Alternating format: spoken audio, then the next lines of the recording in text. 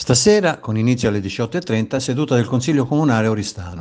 Non una semplice seduta però perché in ballo ci saranno parecchie varianti, non esclusa la bocciatura, dovuta a un eventuale numero non sufficiente a garantire la validità della stessa. Il problema del numero legale sarà esclusivamente di competenza della maggioranza eh, che a quasi cinque mesi dal voto eh, si è preoccupata maggiormente di litigare, di discutere, di pensare alle poltrone che non a eh, lavorare per Oristano.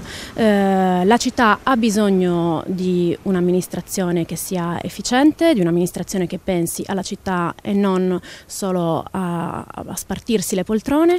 Eh, se poi il sindaco dovesse rendersi conto ovviamente che i numeri non ci sono, eh, magari sarà il caso di pensare di tornare alle urne.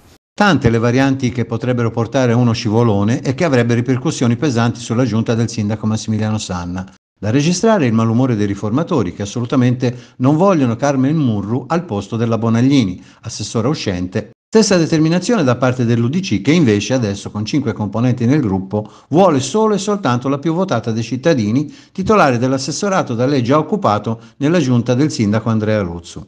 Date le assenze già sicure e giustificate, potrebbero essere le stampelle prestate a dare forza a questa maggioranza. Di fronte a una situazione come quella che oggi è evidente e che è un chiaro segnale di crisi da parte della maggioranza, è chiaro che quelle ripercussioni che oggi un affatto del genere può determinare si rivolgeranno negli interessi della città.